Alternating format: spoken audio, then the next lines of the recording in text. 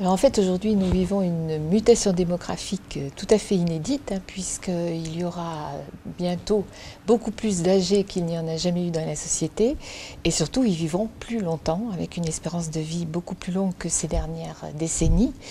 mais plutôt en bonne forme, euh, plutôt en bonne santé, euh, et contrairement aux idées reçues aujourd'hui, où très souvent on associe vieillesse et dépendance, en fait, aujourd'hui, ces gens âgés, ils sont très actifs, euh, dans la famille, dans des associations. Ils euh, jouent des rôles euh, au niveau de la proximité. Les solidarités fonctionnent bien. Et on en reste pourtant toujours à cette idée de dépendance dès qu'on parle de gens âgés ou de vieillissement. Donc en fait, aujourd'hui, ce que ce projet de loi suggère et ce que le CESE soutient très fort, c'est que vraiment, il faut changer de, de point de vue, changer de cap, avoir un autre regard en fait sur le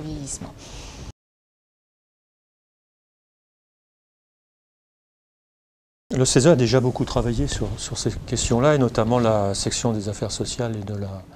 et de la santé. Euh, nous avons fait toute une série de, préconisations pour prévenir les risques de la, de la naissance à la, à la mort et pour développer des démarches aussi préventives, alors tant, tant dans le domaine de la santé qu'en matière sociale en matière de santé, par exemple, on est pour la diffusion d'une culture euh, de la prévention qui passe euh, par l'éducation dès le, plus jeune âge, euh, par la recherche aussi pour dépister les, fragilités dès qu'elles apparaissent, par une bonne utilisation du médicament, puisque là on est aussi dans un domaine où, par exemple, pour les personnes âgées, on sait que le risque d'iatrogénie est, extrêmement élevé et il nous semble aussi nécessaire d'approfondir tout, ce qui est, recherche, notamment dans le, domaine, environnemental, et puis d'intervenir pour que le travail soit plus un facteur d'épanouissement, de construction de la personne qu'un facteur de, risque. Et au niveau, au niveau social, euh, on est pour accompagner les, là aussi pour accompagner les personnes tout au long de leur parcours de vie. Euh, de manière à, préparer les grands changements qui interviennent dans ces parcours de vie.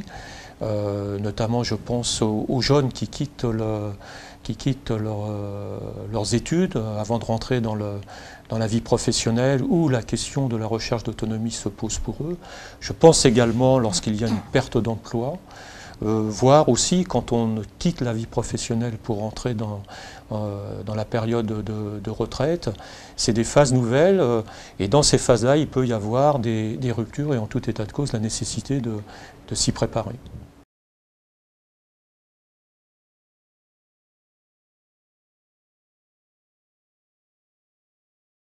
Alors, je pense qu'on ne dit jamais que c'est suffisamment ambitieux, mais en tout cas, il affiche un certain nombre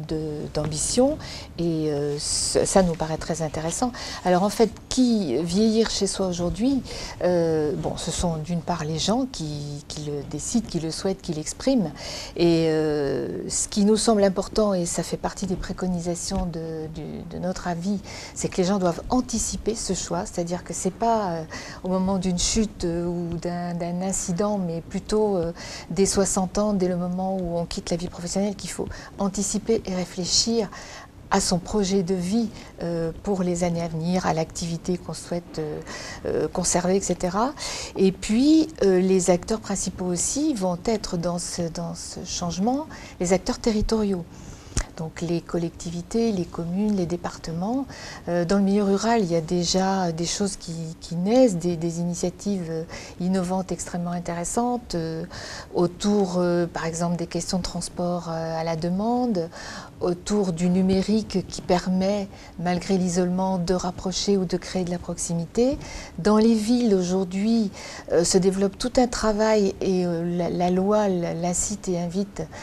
autour des documents d'urbanisme de façon à associer les questions de vieillissement aux documents d'urbanisme, qu'à chaque fois qu'on établit un plan local d'urbanisme, on se pose toutes les questions euh, euh, de, tenir compte des personnes qui sont plus vulnérables et en particulier les personnes âgées, de définir dans les zones des lieux où justement ça sera plus favorable aux gens de s'installer parce qu'il y a des commerces, parce qu'il y a du transport en commun, parce qu'il y a des espaces verts, etc. Alors que dans d'autres zones, par exemple, qui sont très pentues, ça sera euh, difficile. Donc euh, les villes sont invitées aujourd'hui à avoir une réflexion sur le vieillissement dans leurs documents d'urbanisme. Et enfin, euh, on évoque aussi dans notre avis euh, donc l'intention de vieillir chez soi. Le chez soi, c'est éventuellement son domicile qu'on va essayer d'adapter. Et là, le projet de loi propose des aides dans le cadre de l'ANA, ainsi que d'autres, quelques autres possibilités. Le chez soi, c'est aussi éventuellement un domicile qui va être un domicile plus collectif, parce que les gens souhaitent avoir un peu plus de sécurité, être entourés. Alors, le projet de loi euh, suggère, et le CESE soutient tout à fait cette idée, de rénover les logements foyers, qui deviendraient d'ailleurs des résidences autonomie. Mais je crois qu'il faut aussi signaler aujourd'hui un certain nombre d'expériences tout à fait innovantes autour de l'habitat intergénérationnel, la colocation de seniors, etc., qui seront des, des modes de vie, des modes d'habiter autrement pour rester, bien vieillir dans un chez-soi. Donc euh, je partage euh, totalement ce que vient de dire euh, Monique Boutron. Le, projet de loi va effectivement dans le, dans le, bon sens sur un certain nombre de, points. il comporte aussi des, insuffisances que je voudrais évoquer. Alors ce qui va dans le bon sens, je prendrai trois exemples. L'augmentation de l'allocation pour perte d'autonomie, la, part, qui peut permettre aux, aux personnes âgées en perte d'autonomie de, bénéficier d'un plan d'aide plus important pour rester, euh, euh, pour pouvoir être accompagnés, rester à, rester à leur domicile. L'objectif de professionnalisation, pardon, qui est aussi euh, affiché, professionnalisation des, métiers de, l'aide à domicile, puisqu'on a besoin de rendre ces métiers beaucoup plus, beaucoup plus attractifs, car les personnes âgées sans professionnels qui viennent les aider à leur domicile ne pourront pas y rester. La reconnaissance de droits aussi pour les aidants, pour ces personnes qui viennent euh,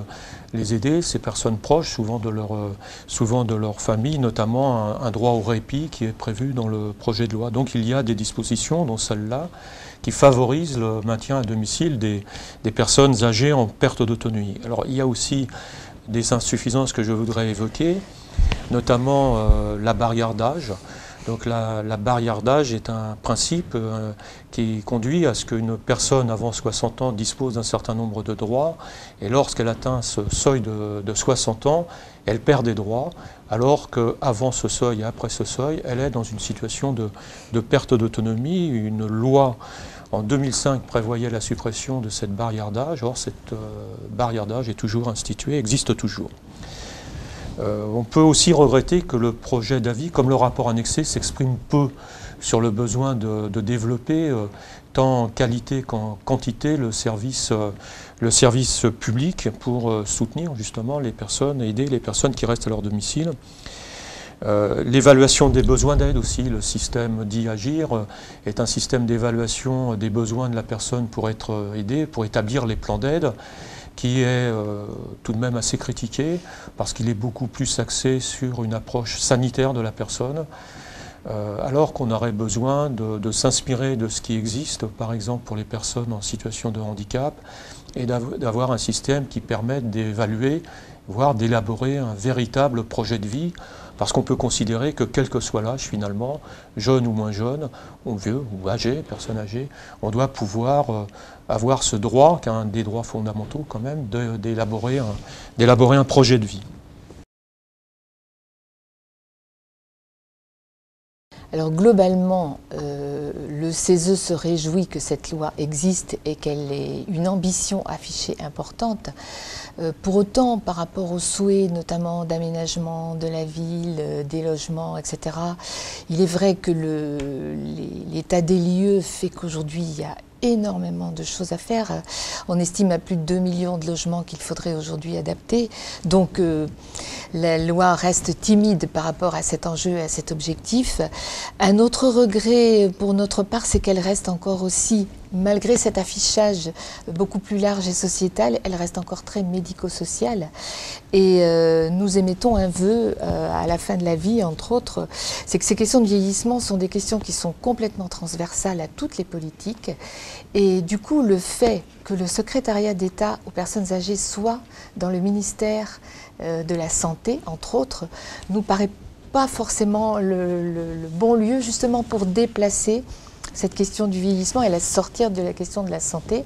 Et nous suggérons que le secrétariat d'État, à l'avenir, soit plutôt rattaché à un ministère qui euh, rassemblerait les questions autour des jeunes, de la famille, de la solidarité, de l'égalité, etc. Et qui permette, en fait, d'inclure la question du vieillissement dans l'ensemble des questions de, politique sociale et sociétale. Alors là aussi, je suis, euh, je suis pleinement d'accord, puisque le, projet de loi affichait un certain nombre de un certain nombre d'ambitions,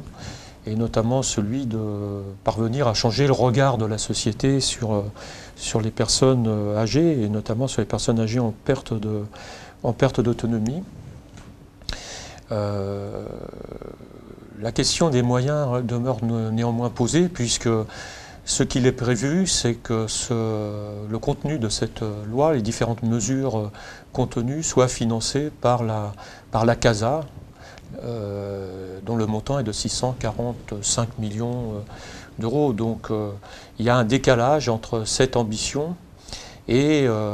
les moyens qui sont attribués pour répondre